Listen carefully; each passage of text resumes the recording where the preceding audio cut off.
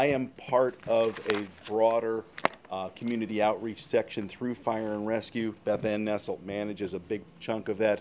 We have uh, folks specific to seniors. We have sp folks specific to school-age children. We have car seats and everything else like that.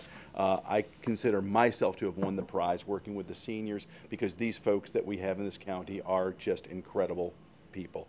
Brilliant people, very, very talented and so on but they have a problem. And the problem is that nobody looks up to see what the condition of their smoke alarms are, to have an idea where the exits are in their homes and things like that. We have a big problem out there where, uh, as Chief Goldstein mentioned, where seniors are at risk of fires and fire injuries and fire deaths at rates that are extraordinary compared to what the rest of us have. It has to do with their cognition and their ability to, their inability to recognize that there's a problem and also the psychomotor stuff, the physical ability to be able to quickly respond. When we have communities who use walkers and canes and wheelchairs, that's who we're at risk with when there was the fire at Leisure World, and Jim, you you were there the next day just like we were, but you might have been there that day during the fire. We, but but you really did a wonderful job e explaining to the, the the people there, the residents that that were at that meeting,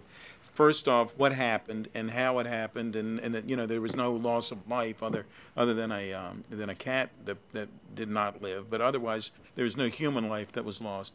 And it really was comforting to see to see you there, and of course the, the people certainly applauded all, everyone's efforts for literally that day and, and the day before. But it really was comforting to have you there, and I and I, I, I applaud you for it as well. And then the other thing is, really, it's a great idea about wheels on uh, meals on wheels because it's not only that the person who's coming to the door knows the person who's serving them for the, the meals, but it and so it gives it gives the, the firefighter and every the police officer whoever's with them another form of, of credibility, and it gives the person a form of credibility because they know that a, a public uh, public safety person's aware of them.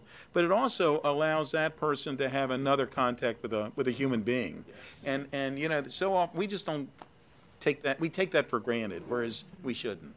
You know, if it's 105 degrees and they have a fan, that's that's not helping them. I mean, it, it's it's not to say it's it makes it any worse, but it certainly doesn't make it a whole lot better. So you only have 50 of them. And, and you only have 50, which is another little problem. But I, and and of course they, they've now, and I don't know how effective they are, and if they're if there's something that, that we should be looking at. But they have these portable uh, air conditioning units now. I don't know whether that would be something that that we should be looking at that, that or that, in some way we should be doing some background that when it's that hot and someone's life is literally in danger and if someone can't can't leave their facility. I mean, you're, you're saying, we were saying before that there's people with Meals on Wheels that can't come to the door. Mm-hmm. And unless the, the fire and, uh, and, and uh, rescue people take them out, it, it, there's a problem. So I think we need to have a better coordination in what we're doing.